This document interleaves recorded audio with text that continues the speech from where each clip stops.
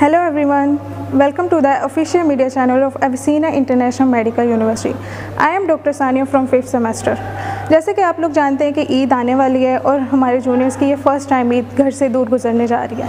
तो आइए हम जानते हैं उनके फीलिंग्स और इमोशंस के बारे में। So guys we have one of the students with us please tell us your name my name is Misal Nadeem I am from semester one and I am Pakistani पहले तो आप ये बताएँ कि आपका रमज़ान कैसा गुजरा? अल्हम्दुलिल्लाह रमज़ान काफ़ी अच्छा जा रहा है। पाकिस्तान में जैसे इस टाइम बहुत गर्मी हो जाती है रमज़ान में तो यहाँ का वेदर बहुत अच्छा है और उस तरह रोज़ा फील भी नहीं होता। लेकिन पाकिस्तान में इस टाइम बिल्कुल हिम्मत ख़त्म हो जाती है बहुत ज़्यादा रोज़ा लगता है। तो उस लिहाज से भी यहाँ का वेदर काफ़ी अच्छा है तो जिस वजह से रमज़ान काफ़ी अच्छा जा रहा है। तो चाँद रात के हवाले से आपकी क्या प्रिपरेशन चाँद रात एक्चुअली पाकिस्तान में ही ज़्यादा अच्छी होती है। लेकिन जैसे अब हम यहाँ हैं तो पाकिस्तान में तो फैमिली के साथ होते थे तो बाहर जाते थे शॉपिंग वगैरह जो एंड में रह जाती थी वो चाँद रात वाले दिन ही पूरी होती थी। तो यहाँ पर भी उस तरह से कर लेंगे थोड़ा फ्रेंड्स के साथ बाहर चले जाएँगे थोड़ी गैदरिंग हो जाएगी बाहर घूम वगैरह लेंगे और आगे पीछे कुछ कुछ अच्छी सी जगह पर जाके खाना वगैरह खा लेंगे। Thanks for your time thank you आपका कि आपने हमें टाइम दिया और बताने का मौका दिया कि हम लोग अपनी फीलिंग बता सके आपको। So guys, we have another student with us. So please tell us your name. My name is Tosif Ahmed. I'm from Pakistan and I'm from first semester. अच्छा तोसीफ़ तो बताएँ कि पाकिस्तान और किर्गिस्तान में फ़ूड टेस्ट डिफरेंस के बारे में आपका क्या ख्याल है? जी जो पाकिस्तान में फ़ूड टेस्ट अम्मी के हाथ का बना हुआ जायका था वो तो यहाँ नहीं मिल सकता। अलबत्त हमारे हॉस्टल में जो शेफ़ हैं वो पाकिस्तानी है।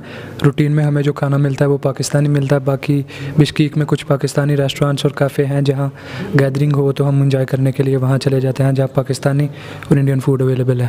अच्छा तो आप ये बताएँ कि घर से दूर हैं आप आपकी पहली ईद है तो आपको कैसा महसूस हो रहा है? जी घर से दूर हूँ तो घर वालों की याद तो फ़र्स्ट टाइम में तो आएगी अलबत्ता मेरे साथ जो पाकिस्तानी स्टूडेंट्स रूममेट्स और मेरे सेममेट्स हैं उनके साथ इंजॉय कर लेंगे। थोड़ा गैदरिंग वगैरह ईद पे तो शायद थोड़ा कम फील होगी घर की याद। चलिए जी thank you so much for your precious time thank you so we have another student with us so please tell us your name My name is Tayyib Raza. I am from second semester. I am from Pakistan. अच्छा तैयब तो ये बताएँ कि आपके रोज़े कैसे गुजरे और आपकी क्या रूटीन्स रही हैं?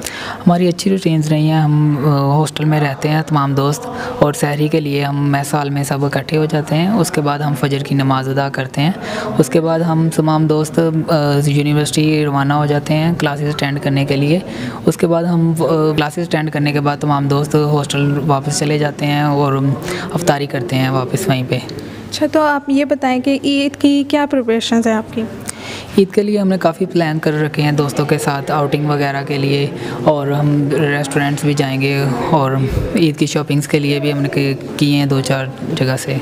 तो विदाउट फैमिली चूँकि आपकी ये फ़र्स्ट ईद है तो आपको मिस कर रहे हैं फैमिली को? यस फीलिंग्स तो सभी ईद की फैमिली के साथ ही होती हैं। फैमिली के बगैर तो ईद नहीं तो फिर भी हम दोस्तों के साथ आउटिंग में जाएँगे। Okay thank you so much for your time okay welcome. So guys thanks for watching. Please like and subscribe a7 tv